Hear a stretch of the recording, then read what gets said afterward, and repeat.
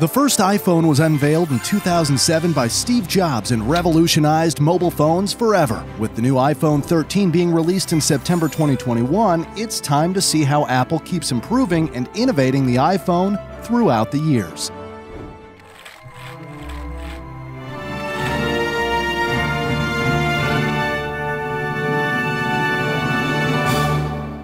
This is the evolution of the iPhone.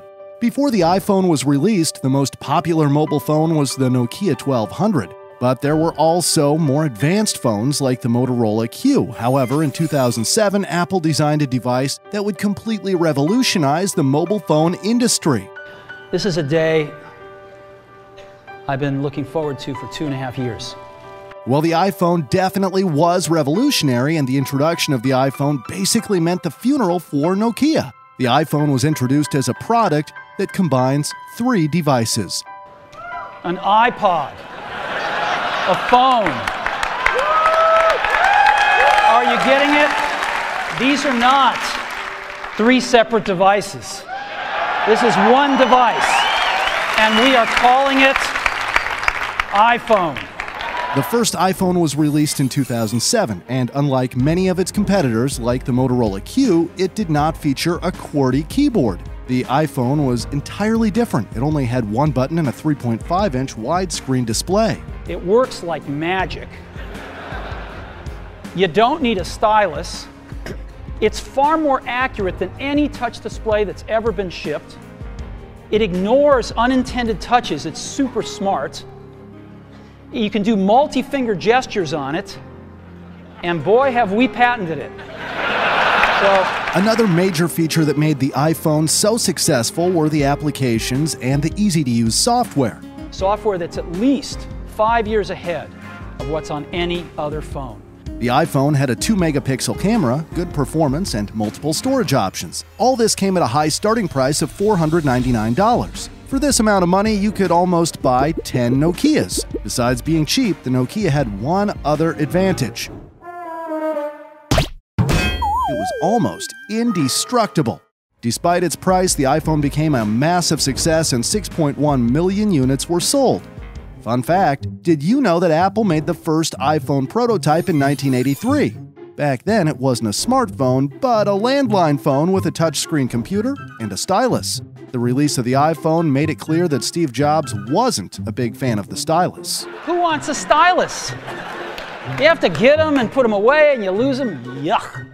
While the excitement over the iPhone was massive, one of the major complaints Apple received was that the phone was too expensive. And the number one reason by far they all want one is they just can't afford it. So in 2008, Apple introduced the iPhone 3G, which they described as twice as fast at half the price. It surfs the web and downloads data twice as fast for half the price. Introducing the new iPhone. One of its main features was being able to connect to 3G networks. This significantly improved the speed of mobile internet. It was also the first iPhone with a built in GPS and the App Store. In 2009, Apple released the iPhone 3GS, with the S standing for speed. Due to a new chip and double the RAM, Apple claimed that the 3GS was twice as fast as its predecessor. It also came with an improved battery. It allowed users to watch videos for up to 10 hours. The camera was upgraded to 3 megapixels and it had 32 gigabyte storage option, but the starting price was $599. The iPhone 3GS became a huge success. Within the first weekend, over 1 million units were sold. Fun fact originally, the iPhone was going to have a plastic screen. However, when Jobs had a prototype in his pocket, the screen was scratched by his keys. That's why the screen was replaced by glass. iPhone had its first major redesign in 2010 with the iPhone 4. Compared to the previous iPhones, it was thinner, had sharper edges, and a stainless steel frame. This is, beyond a doubt, the most precise thing, one of the most beautiful things we've ever made. It also came with a front camera so people could use FaceTime and make selfies. It was also the first iPhone with a high resolution retina screen. The rear camera was improved to 5 megapixels, and the RAM was doubled. The iPhone 4 became yet another massive success, and an estimated 50 million units have been sold. Steve Jobs revived Apple when it was on the verge of bankruptcy, created countless innovative products people from all around the world loved, and inspired millions with his passion and creativity. Sadly, on October 5, 2011, he passed away at the age of 56. The iPhone 4S was the first iPhone launched after Tim Cook became the CEO of Apple in 2011. This time, the S did not stand for speed, but for Siri. Hey, Siri, what is zero divided by zero? Imagine that you have zero cookies, and you split them evenly among zero friends. How many cookies does each person get? See, it doesn't make sense. And Cookie Monster is sad that there are no cookies, and you are sad that you have no friends. Wow, I just got roasted by Siri. Do you think it will snow today? It sure looks like snow today. Say hello to Siri on the most amazing iPhone yet. The iPhone 4S had a new Apple A5 chip that allowed for up to seven times faster graphics. It also came with a better camera that could record in full HD, and it had an option for 64 gigabytes of storage. The iPhone 4S became an even bigger success than its predecessor, selling an estimated 60 million units in total. We want to make a much better phone. iPhone 5 is the result of this approach. It's been completely redesigned. And for the first time ever, we've increased the size of the display. Next came the iPhone 5 with a bigger 4 inch display. The new Lightning connector made the iPhone 5 charge faster. It was also 18% thinner and 20% lighter than the iPhone 4S. Apple claimed it was the thinnest smartphone in the world at 7.6 millimeters. And that's not all, it also had a faster chip. We're also introducing an all new Apple designed A6 chip. It delivers performance that's up to twice as fast as the previous generation. The iPhone 5 also had a better front camera and the RAM was improved to 1 gigabyte. Fun fact the App Store with all of its apps are, of course, very important for the success of the iPhone, but did you know there are almost 2 million apps available for download?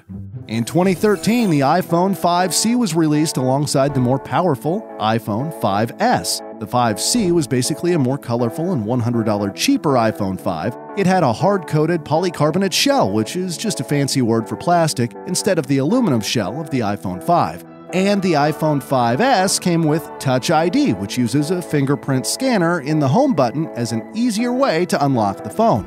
The sensor uses advanced capacitive touch to take, in essence, a high resolution image of your fingerprint from the subepidermal layers of your skin. It then intelligently analyzes this information with a remarkable degree of detail and precision. It also had an improved battery and was up to twice as fast due to the A7 chip. The iPhone 5S became a massive success, and over 163 million units have been sold. The iPhone got bigger and better in 2014 with the introduction of the iPhone 6. It was the first iPhone to have Retina HD and a storage option for 128 gigabytes. Buyers could now choose between two different screen types with the iPhone 6 Plus having a larger 5.5 inch display and an improved battery, plus a $100 added price tag. With iPhone 6 and iPhone 6 Plus, we've taken the time to do the deep engineering to design and develop two entirely new iPhones. More significant than just bigger and better displays, the design has never been so compelling. Undoubtedly, making this the biggest advance in the iPhone since we launched the original. Fun fact the iPhone 6 and 6 Plus became the best selling smartphones of all time. In total, a whopping 222 million units have been sold. The iPhone 6S and 6S Plus were released in 2015. Apple stated that the new A9 chip had up to 70% more CPU and 90% more graphics performance compared to its predecessor. 3D Touch was also introduced, which responds to the pressure of your finger, but there is more. The camera shoots 4K video now, which changes how your movies look. Nice. Even selfies have changed.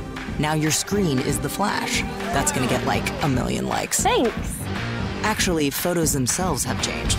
They move now. You just touch them.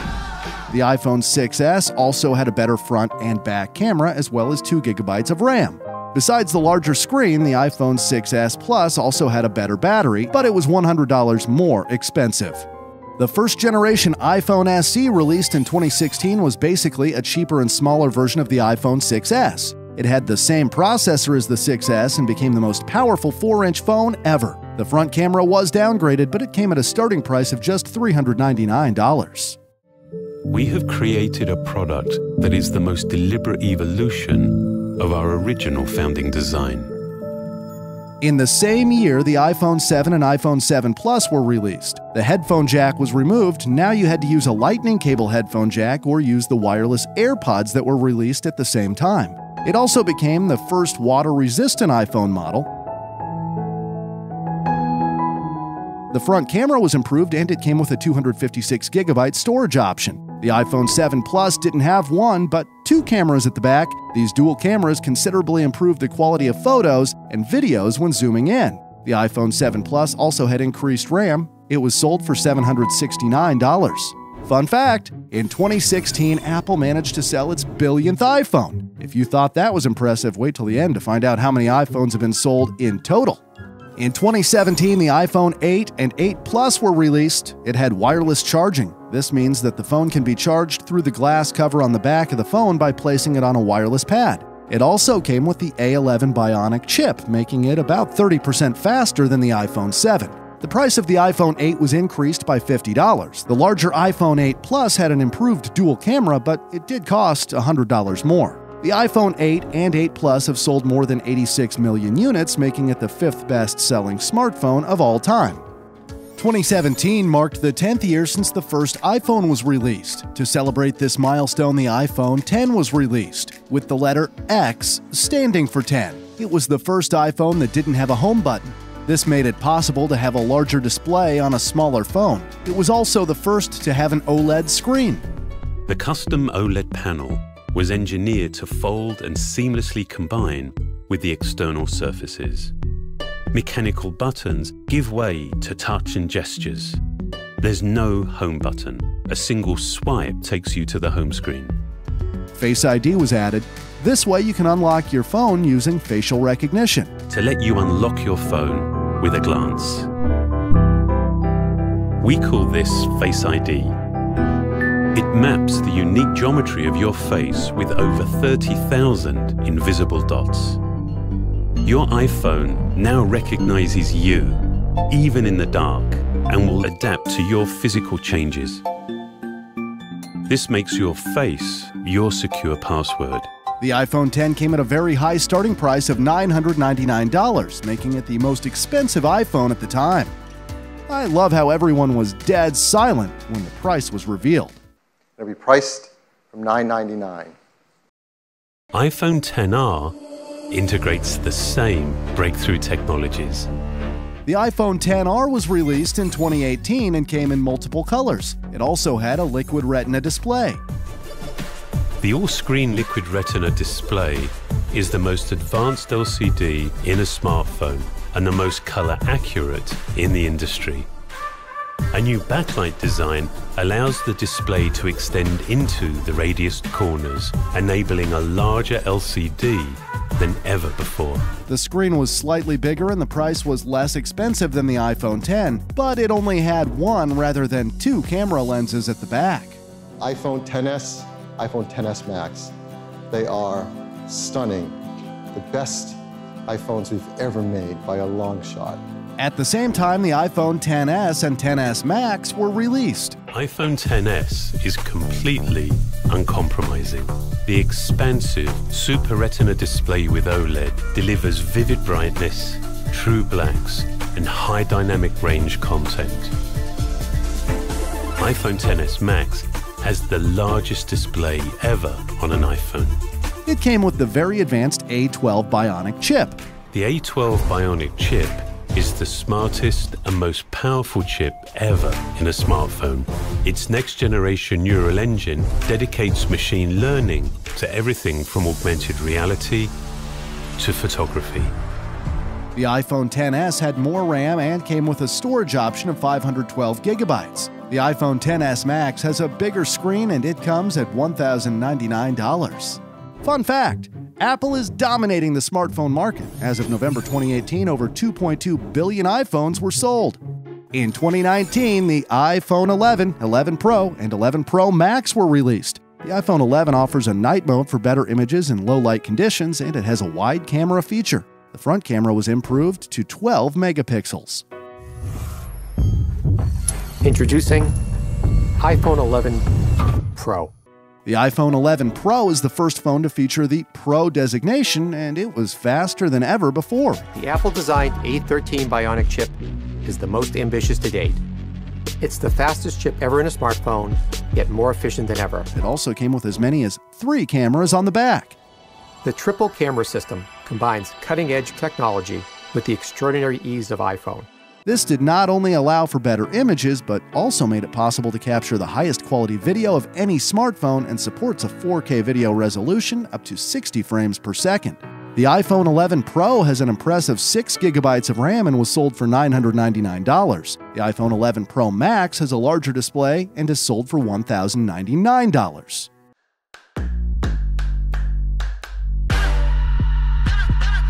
The second generation iPhone SE was released in 2020, just like its predecessor. Released in 2016, it was sold for $399, which is very cheap for an iPhone. It has the same Apple A13 Bionic chip as the iPhone 11, which was the fastest chip in a smartphone. The iPhone SE comes with a 4.7 inch display and has Touch ID built into its home button.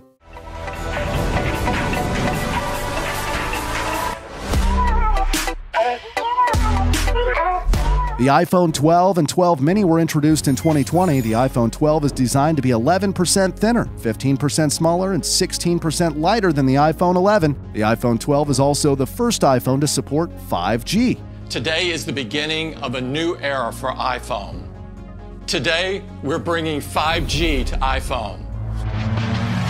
5G is set to change the world with radically faster speeds. Apple also introduced Ceramic Shield, which makes the screen much tougher. Ceramic Shield goes beyond glass by adding a new high temperature crystallization step, which grows nanoceramic crystals within the glass matrix to dramatically improve toughness. Ceramic Shield has four times better drop performance, meaning if the iPhone 12 falls, it has four times the chance of surviving without cracking. It also received a new A14 chip, which significantly increases the speed of the CPU and GPU. The A14 also allows for a dramatic increase in machine learning capabilities. The iPhone 12 was more expensive than the iPhone 11 with a starting price of $799. While the iPhone 12 comes with a 6.1 inch display, the 12 mini has a 5.4 inch display. It was also $100 cheaper.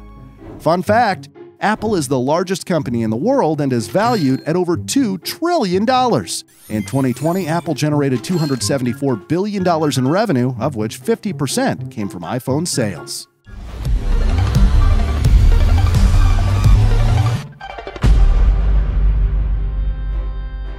This is iPhone 12 Pro. The iPhone 12 Pro and Pro Max were the flagship smartphones in the 14th generation of the iPhone. A new and improved Pro camera system makes the 12 Pro the photographer's iPhone. iPhone 12 Pro smashes the benchmark for highest quality video in a smartphone. All this and more make iPhone 12 Pro the most powerful iPhone ever. The iPhone 12 Pro has a slightly larger screen compared to the iPhone 11 Pro. It came in at the same starting price of $999. The iPhone 12 Pro Max has a 6.7 inch display, the largest display ever on an iPhone. It has a starting price of $1,099. In September 2021, the iPhone 13 and 13 mini are released. The iPhone 13 comes with the A15 Bionic chip, which has the fastest CPU and GPU of all smartphones. It also has faster 5G speeds and the most advanced dual camera. A new feature is the cinematic mode, which allows for automatic focus changes to create cinematic movie scenes. The battery is also improved with a 2.5 hour longer battery life compared to the iPhone 12. The iPhone 13 has an option for 512 gigabytes and is sold for $799. The iPhone 13 mini also has an increased battery life compared to the iPhone 12 mini by up to 1.5 hours. The iPhone mini is sold for $699. And finally, there are the iPhone 13 Pro and Pro Max, also released at the same time in 2021. The A15 Bionic is even more impressive, making them the most advanced smartphones in the world. Both the iPhone 13 Pro and Pro Max have a larger battery, allowing for an improved battery life compared to their predecessors.